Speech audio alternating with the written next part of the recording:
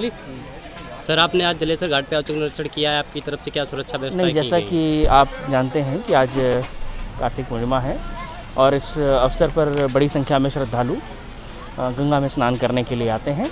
इसके लिए प्रारंभ से ही एक योजना बना करके विशेष तौर पर जो नदी का किनारा है वहाँ पर व्यवस्था की गई थी ताकि सुरक्षित रूप से लोग सुगमतापूर्वक स्नान कर सकें।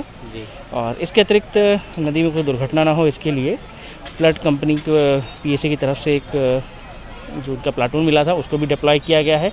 मोटर बोट पर पुलिसकर्मी लगे हुए हैं ताकि किसी भी प्रकार की अनहोनी घटना से बचा जा सके। जी।